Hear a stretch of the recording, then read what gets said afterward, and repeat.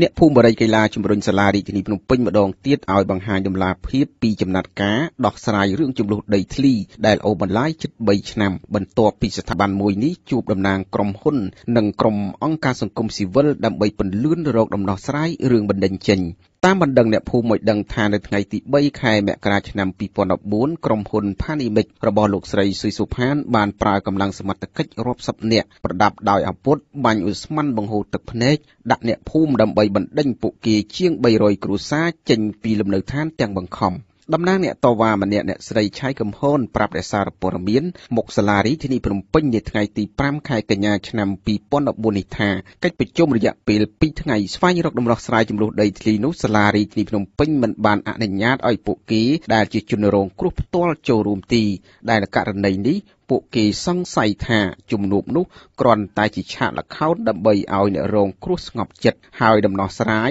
អាចនឹងគ្មានដំណាភាពស្ថិតក្រោមអំណាចរបស់ក្រុមហ៊ុនពួកខ្ញុំមានតែ154គ្រួសារទេតែបែរជាបើកវេទិកាសាធារណៈឡើងដល់តែ180គ្រួសារនេះហើយដែលធ្វើឲ្យពួកនេះខ្ញុំមានការព្រួយបារម្ភខ្លាំងបំផុតក្រោយមានការប្រមូលផ្ដុំបិទ ច្រកចិញ្ចោរបស់សាលារាជធានីភ្នំពេញក្រមសន្តិសុខដែលតែងតែបង្ក្រាបក្រុមអ្នកតវ៉ាបានចុះអន្តរាគមន៍ដោយស្នើឲ្យអ្នកតវ៉ារក្សាភាពស្ងៀមស្ងាត់និងសម្រួលការធ្វើចរាចរណ៍ការរៀបរៀងនោះត្រូវបានឌឺដងដាក់គ្នាដោយពាក្យសម្ដីប៉ុន្តែមិនផ្ទុះហិង្សាទី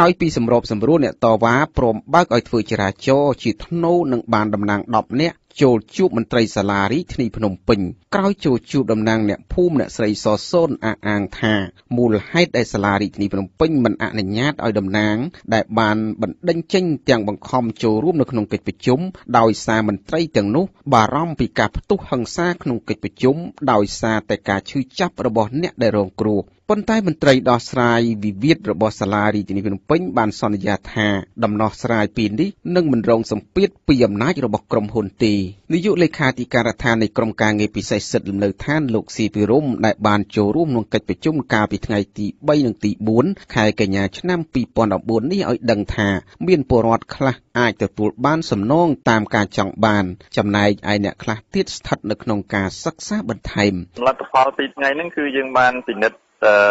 ទៅលើឈ្មោះ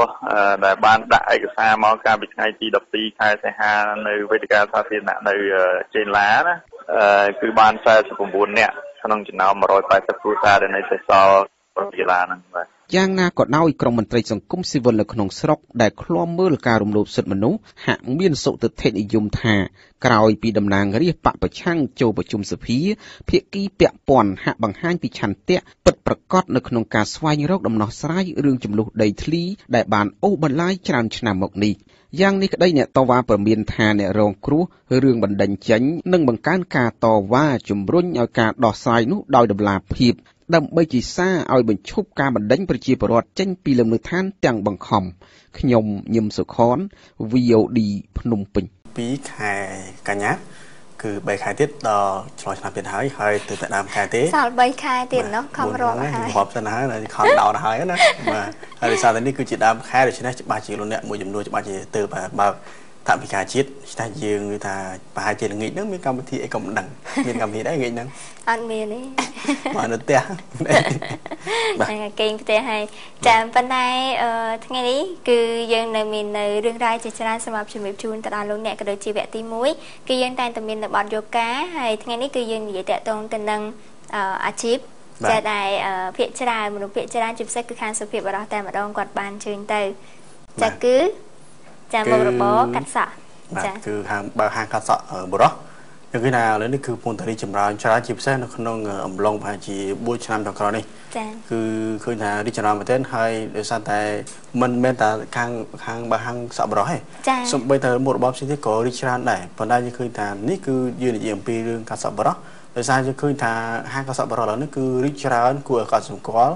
ហើយពីច្រើនជាងនៃកាត់សក់នេះគឺគាត់បែបយុវវ័យ ចហាងយុវវ័យជាងយុវវ័យអត់មកយុចាស់ចូលទេចាប៉ុន្តែយ៉ាងណាមិញគឺក៏មាននៃការត្អូញត្អែពីសំណាក់ប្រជាពលរដ្ឋយើងជាពិសេសគឺអ្នកដែលគាត់ដែលជាអាជីវករឬក៏ម្ចាស់ហាងកាត់សក់នឹងតែម្ដងដែលគាត់ថាដោយសារឥឡូវនេះគឺមានការរីកដុះដាលនៅហាងកាត់សក់ច្រើនធ្វើឲ្យតម្លៃនឹងមានការប្រកួតប្រជែងគ្នាខ្លាំងតែជើងគ្នាចាអញ្ចឹងទៅធ្វើឲ្យពេលខ្លះហ្នឹងគឺគាត់អត់ទទួលបាននៅអ្នកចូលមកកាត់សក់ទេចាព្រោះថា តម្លៃគេគិតถึงតម្លៃអត់ចំណេញហើយអ្នកកាត់សក់ក៏តិចជាងមុនព្រោះឥឡូវប្រផទុកសក់វិញវែងបាទទុកសក់វិញវែងហើយបើសិនជាកាត់កាត់អស់លីងហ្មងអញ្ចឹងក្រដោះ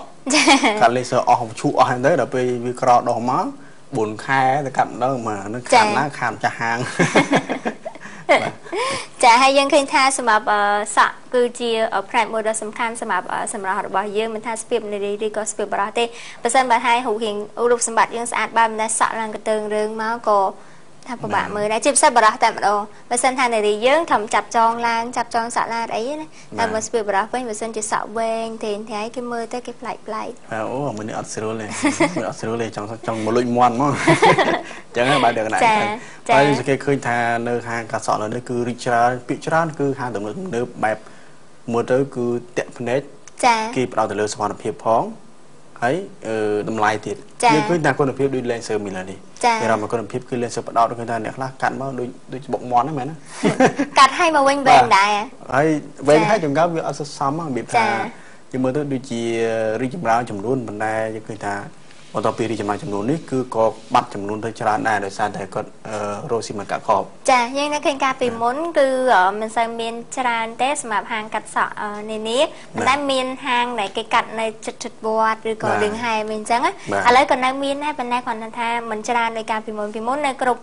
ផ្លូវអីផ្សេងផ្សេងច្រើនតែមានគេដាក់កៅអីមួយអង្គុយអញ្ចឹងហើយក្មេងៗក្មេងប្រុសអីចឹងគេកលក្តារមួយឡើងអង្គុយនៅខាងលើដើម្បីគេកាត់ណាចាអត់តោះឲ្យកាត់កាត់ស្រាវឡានមកស្ដីទៅតតទេតសេរីហ្នឹងហើយបាទចា៎ហ្នឹងគឺវាជាការប្រែប្រួលនៃសង្គមរបស់កម្ពុជាយើងហើយលោកនេះច្បាស់តែឃើញមិនដែលប្រហែលជាមិនបានចាប់អារម្មណ៍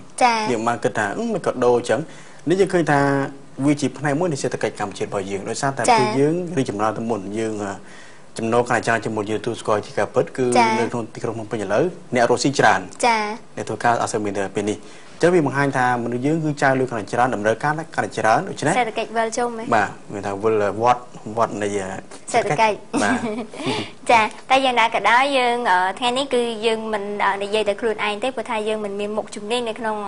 អាជីពកាត់សក់ទេក៏ប៉ុន្តែយើងនឹងជួបសម្ភារផ្ទាល់ជាមួយនឹងម្ចាស់អាជីវកម្មកាត់សក់ដែលគាត់ជាម្ចាស់ហាង មួយនៅតាមបណ្ដាផ្លូវកម្ពុជាក្រោមចាបងស្រីសំភ័សគាត់នៅជំរាបជូនថាតើអាជីវកម្មរបស់គាត់ដំណើរការយ៉ាងណាហើយសប្តាហ៍ថ្ងៃនេះគាត់ជួបប្រទេសនៅផលលំបាកយ៉ាងណាខ្លះហើយចំពោះអឺ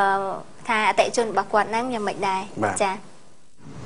អឺហាងនេះដំណើរការបើកតាំងពីឆ្នាំ2011ហើយបានជានាងខ្ញុំសម្រេចចិត្តថាបើកអាជីវកម្មនេះដោយសារនាងខ្ញុំមានដងពីកំណើតមកហើយពីដើមមកនាងខ្ញុំរៀនកាត់សក់នៅក្នុងហាងកាត់សក់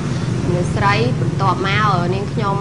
បានចូលធ្វើការនៅក្នុងហាងកាត់សក់បរោះដោយសារតកែឃើគេឃើញនាងខ្ញុំមានដងពីកំណើតមកគេក៏បានឲ្យនាងខ្ញុំរៀនកាត់សក់បរោះនាងខ្ញុំចាប់ផ្ដើមរៀនកាត់សក់បរោះតាំងពីឆ្នាំ2010រហូតដល់ឆ្នាំ2011នាងខ្ញុំបានបើកអាជីវកម្មនេះតែម្ដង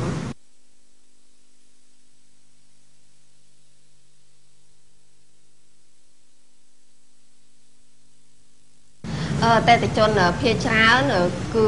ចូលចម្រោះ មានទាំងក្មេងទាំងចាស់អឺ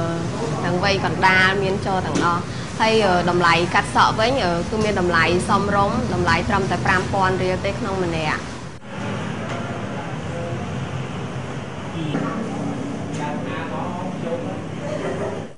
អឺផលពិបាករាល់ថ្ងៃដូចជាអឺជាងគាត់ធ្វើការនៅជាមួយនាងខ្ញុំយូរឆ្នាំអីចឹងដល់ពេលហើយ ធម្មតាយើងធ្វើការជារាល់ថ្ងៃវាមានទើសទោសអីតិចតួចអញ្ចឹងធ្វើការអញ្ចឹងទៅជាងគេក៏អន់ចិត្តគេឈប់គេអីអញ្ចឹងទៅហើយគេនៅមួយខ្ញុំយូរឆ្នាំគេមានម៉ួយមានអីដល់ពេលគេឈប់អញ្ចឹងទៅម៉ួយគេតែទៅតាមជាងខ្លះខ្លះអញ្ចឹងមួយចំនួនដែរអញ្ចឹងវាជាផលពិបាករបស់ខ្ញុំដែរ អធិស្ឋានផងបើមែននេះនាងខ្ញុំជំរាបជូនអំពីហាងគឺមិនមែននៅលើផ្លូវកម្ពុជាក្រោមទេគឺនៅលើផ្លូវទឹករំការរំម្ដុំសន្តាគារទឹករំការរំណាបាទចាផ្លូវឡើងទៅផ្សារ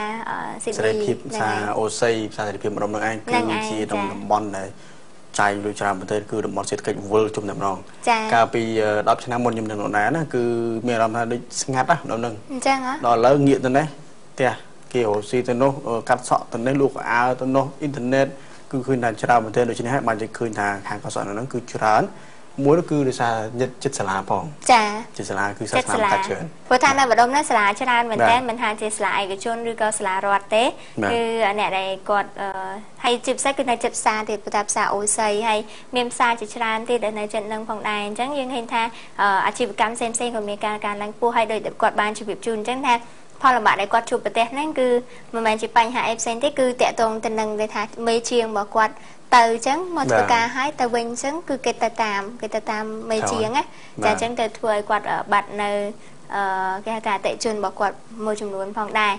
ចាយ៉ាងណាមិញនៅក្នុងវគ្គទី1គឺយើងគ្រាន់តែចង់ជម្រាបជូនលោកអ្នកខ្លះខ្លះតកតងទៅនឹងអាជីវកម្មផ្សេងផ្សេងនៅក្នុងប្រទេសកម្ពុជាយើងក៏ដូចជាបទយកការដែលតកតងទៅនឹងស្ថានភាពនៅក្នុងសង្គមផងដែរចាហើយវគ្គទី1រៀងមានតែប៉ុណ្ណេះទេយើងនឹងត្រឡប់មកជួបលោកអ្នកនៅក្នុងវគ្គទី2វិញ